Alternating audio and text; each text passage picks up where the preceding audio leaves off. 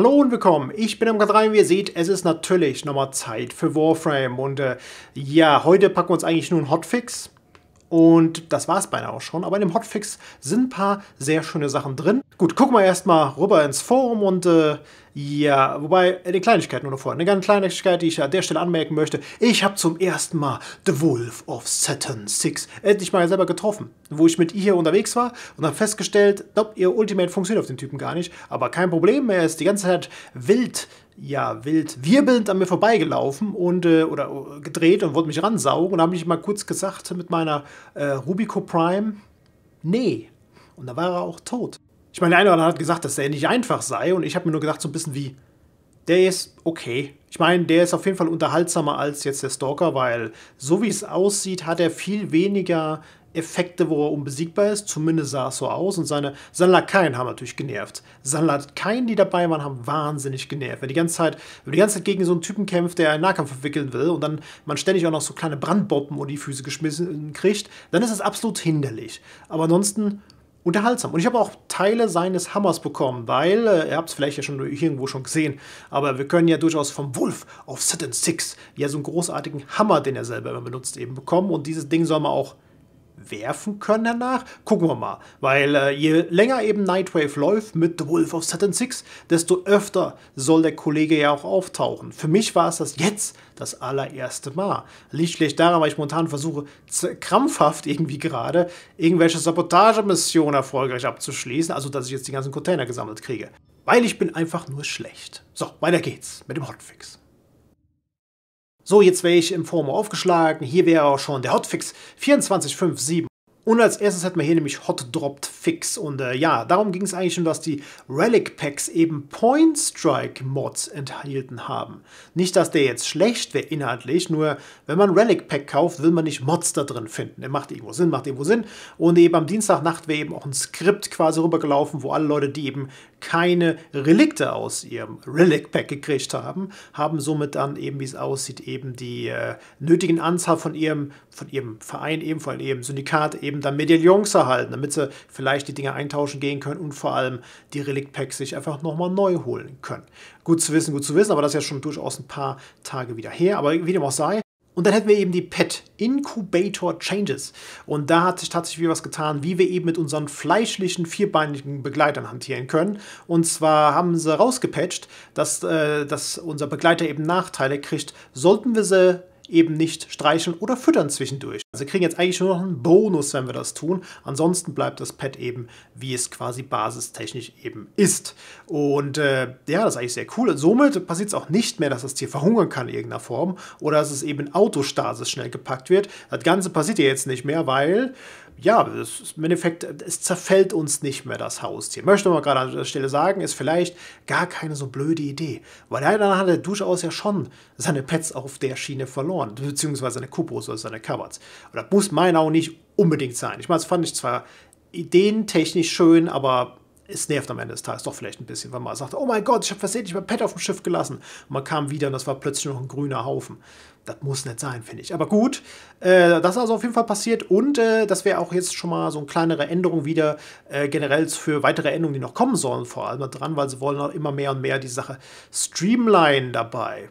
Okay, sag ich mal, okay. Mal gucken, was sie noch so demnächst daran ändern. Aber das ist schon mal eine Änderung, die interessant ist. Nicht lebensnotwendig, aber trotzdem nicht schlecht. Dann kommen wir zu weiteren Changes. Und zwar haben sie ein bisschen was dran gedreht, dass, äh, wenn man mit den Ventkits in irgendeiner Form interagiert, also mit denen spricht, ist schon mal die Performance runtergegangen. Und da haben sie halt ein bisschen was dran gedreht, das jetzt nicht mehr so der Fall ist. Und äh, ja, da hat sich ein Mod verändert, den wir ja auch äh, quasi neu gekriegt haben durch den Nightwave-Spaß, nämlich diesen Wild Frenzy Mod für die Krakada. Dieses Ding, womit man theoretisch mit dem sekundären Feuermodus nur zwei Ziele killen kann und man kriegt die Moon wieder. Ja, genau der.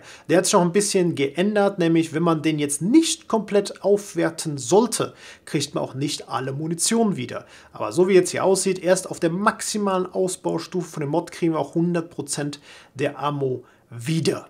Okay, und davor kriegt man eben nur jeweil, jeweilig prozentige Anteile dafür. Ja, okay, okay. Und dann haben sie ein bisschen was gedreht in einem Gegner namens Nightwatch Powerclaw. Mhm, weil der eben Grenier Defectors geone-shottet hätte zwischendurch. In dem Zusammenhang haben sie das Vieh absolut in den Boden genervt. Muss ich nochmal genau nachgucken, was es genau war. Aber ja, von 75 auf 30 Schaden reduziert worden. Status-Schaden ist von 15 auf 5% und der, ja, die Crit-Schaden ist von mit dreifach auf, auf 0 gesetzt. Mensch, das ist wow. Das, wer auch immer das war, der hat auf jeden Fall sehr verloren. Und jetzt kommen wir zu den Nightwave Fixes und hier der erste Satz hat es schon mal in sich. Denn wie es aussah, konnte man eben einen Exploit benutzen im Spiel. Ja, das ist auch wirklich ein Exploit. Wir haben nämlich da scheinbar die Möglichkeit gehabt, zumindest wenn welche wirklich es drauf angelegt haben, mit der Host-Immigration und wieder zum Rückwechseln zu dem Squad, wo man rausgegangen ist, hat man eben gerade diese Punkte von äh, Nightwave immer und immer wieder kriegen können. Das heißt, da haben welche es wirklich scheinbar geschafft, die Maximalstufe jetzt schon von Nightwave zu erreichen. Einfach mal so. Durch diesen Exploit. Was war, ich glaube, wir haben es mal nachgerechnet, wenn jetzt in einer Mission man 150 Punkte durch Nightwave bekommen hätte und damit von jetzt bis auf Maximum kommen wollte und man hat so um die 20 vielleicht, wären das über 666 Mal hätte man Host-Immigration machen müssen. Bisschen extrem, vielleicht ist es auch anders gerechnet worden, aber wie dem auch gerade sei, und wie es so schön steht, äh, ein paar Leute hätten das eben sehr überzogen und mit denen würde auch, äh, ja, wie es hier steht, and we will acting accordingly. Was so viel heißt, wie wir treten den wahnsinnig in den Arsch. Ja, der eine oder andere könnte vielleicht deswegen gebannt werden oder, ja, ich habe einen sehr schönen Beitrag gefunden, der äh, spricht auch das ein bisschen genauer an. Und hier ist eben eine Idee, wie man so Leute, die eben gecheatet haben, auch bestrafen könnte, ohne dass man sie jetzt permanent direkt aus dem Spiel schmeißt. Und zwar, wir lassen sie bei Nightwave Rang 30. Mhm. Wir nehmen ihm aber weg Umbral Former, beziehungsweise, sofern sie es schon benutzt haben, eben tun sozusagen diese Formerei eben von der Waffe oder dem Warframe eben rückgängig machen. Das heißt, man Worten, das Wichtigste womöglich, was man bei Nightwave abstauben gehen kann, eben die Möglichkeit, Umbral, ja, äh, Polarisierung zu erschaffen, nehmen wir den komplett wieder weg. Da können sie halt warten, bis die zehn Wochen halt insgesamt drum sind. Da können sie bei der nächsten Nightwave ja vielleicht normal spielen. Das wäre vielleicht auch eine schöne Idee. Neben des Rauskegelns wäre das wirklich aber auch eine schöne Idee. Und dann gab es hier noch einen Anzeigefehler, wo eben, eben einem zu viel angezeigt worden ist, anstatt dass man eben drei Convigs alle machen musste. Plötzlich stand da eins von vier. Meh. Und dass bei Nightwave auch ein bisschen die Sache offensichtlicher gestaltet wird, nämlich, dass man Oroken Derelict Volts eben auch platt machen muss und nicht irgendwelche anderen Volts. Weil der eine oder andere hat vielleicht jetzt an Spy-Missionen den Zusammenhang gedacht und äh, ja, mit dem Wort Derelict ist die Sache irgendwo ein Stück weit klar. Es geht um Wrack-Missionen dort, nicht um irgendwas anderes. Und dann hält man Magos Lockdown-Fixes. Ist übrigens Arcana für einen Operator, wie der aussieht. Nämlich, wenn wir da einen Void-Dash mitmachen würden, tun wir Minen legen, damit die Gegner festhalten und eben prozentuell ihre maximalen Lebenspunkte beschädigen was an sich sich cool anhört. Aber gut, gucken wir mal an, was hier die Fixe jetzt genau waren. Ach genau, dass die Sachen nämlich auch auf äh, VIPs, also Very Important Persons, zu Deutsch die Typen, die wir vielleicht verteidigen sollen, auch gewirkt hat oder eben gegen Bosse. Und das haben sie jetzt alle ein bisschen verändert, nämlich dass äh, zwar der Effekt würde noch kommen, aber der Schaden würde zumindest nicht mehr kommen. Weil es ist ein bisschen blöd, wenn man Void Dash macht und versehentlich den eigenen Typen dabei killt. Finde ich ein bisschen. Dann konnte diese Mine auch Leute in Permaschlaf versetzen. Ja, wenn sie tot sind, sind sie auch permanent am Schlafen, könnte ich jetzt sagen. Aber ich glaube, das meinen sie jetzt nicht. Kommen wir nun zu den Fixen. Ähm, das hört sich irgendwie bekannt an, wegen Dual-Core-PCs. Dass es da wegen Skript-Optimisierung zu Problemen geführt hat. Das hat man vor kurzem noch schon mal gehabt, irgendwo, nur im anderen Zusammenhang. Huh. Interesting, wie das immer wieder auftaucht. Dann ein seltener Crash, wenn man eben einer Mission beitritt, die schon am Laufen ist. Und dann noch ein anderer seltener Crash wurde gefixt, wo, wenn jemand mit dem Arcwing aus eurer Sichtreichweite fliegt und dann als mit dem Warframe wieder in eure Sicht zurückkehrt. What? Das heißt, man wird nicht, flieg weg und wenn ich mit dem Warframe zurückgelaufen komme und ihr mich dann seht, macht's Pup und ihr seid abgestürzt. Okay, das war wirklich sehr speziell. Das ist wirklich sehr speziell. Mensch, die coolen Dragnoids bei, äh, bei dem Exploiter-Orb, ne diese Spinnchen, äh, konnten scheinbar auch Limbo in seinem Rift klatschen gehen. Meine Fresse, hat er zwar verdient, aber trotzdem gehört sich das eigentlich nicht, dass die Mechanik so umgangen wird. Oh, und hier der nächste, das nächste hier, das erklärt für mich jetzt einiges. Ich habe mir die ganze Zeit immer gedacht, das wäre was verbuggt im Spiel. Aber nein, es ist tatsächlich wie gewollt, nur es, es wurde nie angezeigt.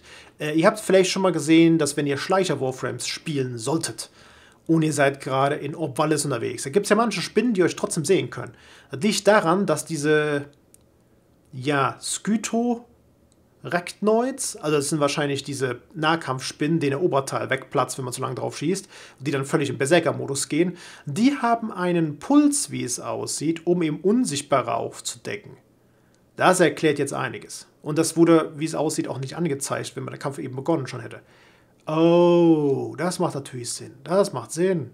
Mensch, ich dachte immer, warum werde ich immer gekillt, wenn ich unsichtbar bin? Weil die was dagegen haben. Ah, Im wahrsten Sinne des Wortes. Dann hätte es ein bisschen zu viel geblurrt, wenn man äh, rumgescannt hätte im Arcwing. Dann, dass der Emote von Tenocon 2000 nicht äh, standardmäßig angeblieben wäre, weil das soll jetzt abbrechen, wenn ihr es sagt, nicht wenn das Ding es meint. Dann gab es scheinbar noch Probleme mit diesem Captura-Szene von dem Thronraum von Kuva. Okay. Dann noch ein paar andere kleine Fixe, ein paar Skript-Errors beim Casten von Titania und Limbos Klamotten. Warum auch immer. In Prime, in Frame Fighter vor allem die fixen wirklich, oh cool, die schreiben sogar Sachen rein, wenn es von in Minigames was ist. Gut zu wissen, gut zu wissen. Und ganz zu guter Letzt haben wir nochmal eine kleine Änderung gerade zu Memory Corruption. Ja, wurde auch wieder durch Script Optimizations ausgelöst. Das mit dem Optimisieren hat wahrscheinlich noch nicht so wirklich hingehauen, würde ich mal trocken behaupten.